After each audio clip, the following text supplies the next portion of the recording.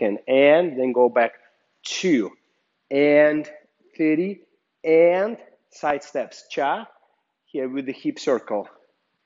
Cha and here very strong hip circle to recover to the next uh, step one. And two here hip circle. And three come with this hip forward.